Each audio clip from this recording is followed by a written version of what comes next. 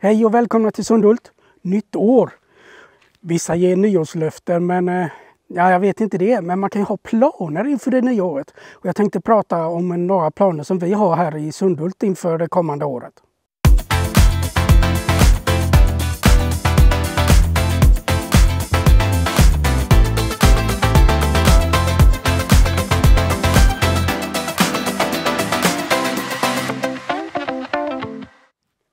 Aj, aj, aj.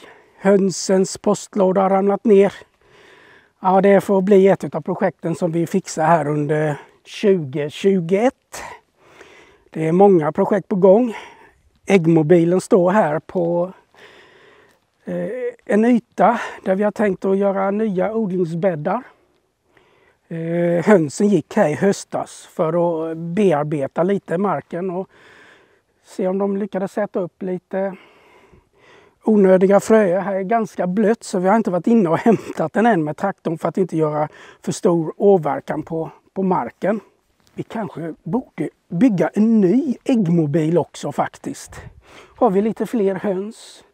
Vi lärde oss en hel del när vi byggde den. Vi lär, har lärt oss hur vi vill använda den, eller hur den, alltså saker på den som vi skulle vilja göra annorlunda efter de två säsongerna som vi nu har haft äggmobilen. Men här har vi alltså tänkt att göra nya bäddar. Se hur mycket vi hinner. Totalt sett när vi har gjort färdigt hela ytan som vi har här i Sundhult så blir det 96 bäddar. Man får försöka hinna med så mycket man kan. Man ska ju förodla nya grönsaker till den här säsongen och, och så vidare. Men eh, några bäddar till ska det väl bli. Och vi, vi började här i höstas med att slutföra den här ytan. Den är inte helt färdig än. Vi har gjort några bäddar där. Här är det löv som, som ligger och förmultnar och så ska vi göra ordning de här bäddarna också.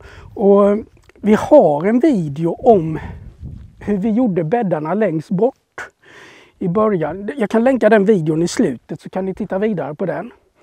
Men det är eh, såklart att man lär sig allt eftersom man gör bäddarna här och gör lite annorlunda hela tiden så att eh, när vi är färdiga med det området där borta då kanske vi riktigt vet hur man gör.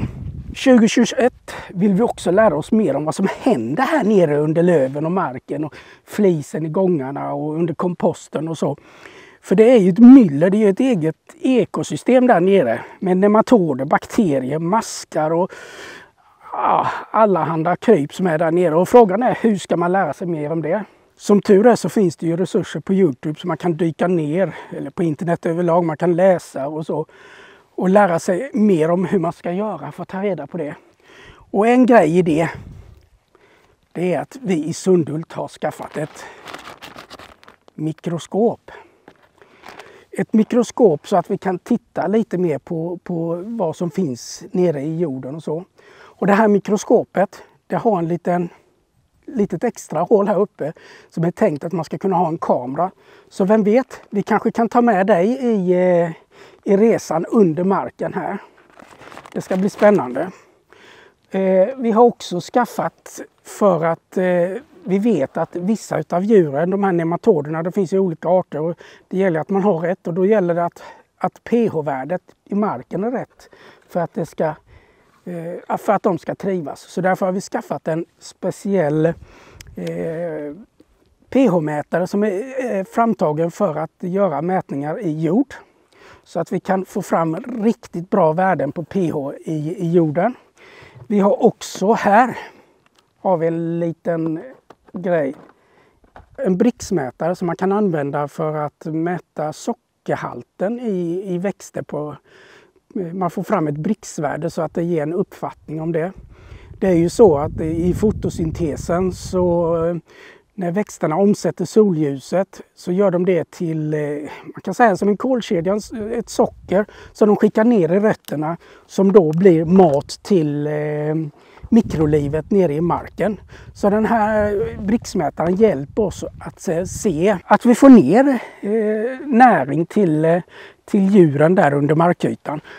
Bricksmätarna är ju jätteintressant att använda ute på beteshagarna också. Eller kanske där den är extra intressant för då kan vi se när, vad vi har för näring i, i gräset. Vi kan titta över dygnet. Liksom, när är det bäst att flytta djuren i de här små folderna som vi har då? Eftersom vi har ett rotationsbete, ett adaptivt bete där vi flyttar djuren hela tiden. Och det sägs att det ska vara någon gång på eftermiddagen som det är högst näring i gräset. Det betyder att om vi flyttar dem på eftermiddagen, då får de i sig mycket näring av det gräset de äter. Flyttar vi dem på förmiddagen och de äter samma mängd gräs så får de inte i sig lika mycket näring. Och det är en sak som vi kan undersöka när vi använder eh, Brixmätaren och lära oss mer om det. Och sen så har vi ju projekt uppe vid stallet som vi skulle vilja göra också. Ja, odlingarna det är ju ett av projekten då inför 2021.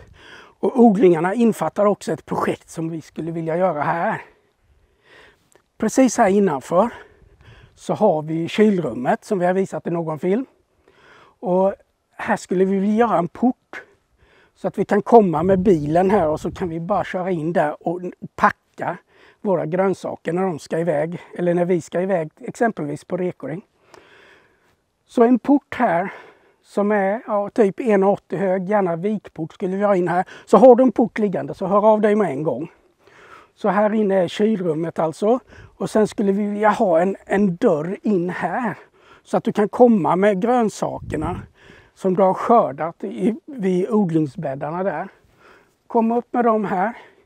In med dem här. Där, kan, där inne kan vi tvätta dem och, och fixa till dem. Och sen så, om vi behöver så kan vi lagra, lagra dem, mellanlagra dem i kylrummet och packa dem där så. Och sen så kan vi ta ut dem och så köra så vi får ett bra flöde här igenom.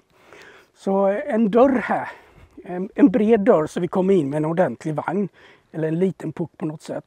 Och här innanför så är nog tanken att eh, här kommer vara förgröningsrummet där vi driver upp de plantorna som sedan ska planteras ut i odlingsbäddarna.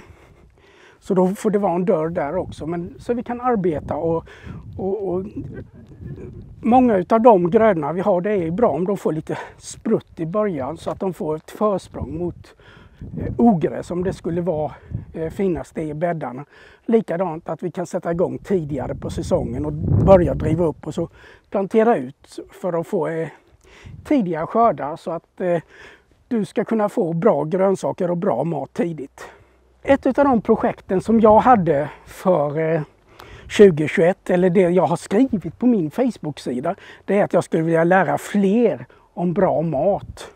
Och då är ju detta ett sätt att dela med sig via sådana här video.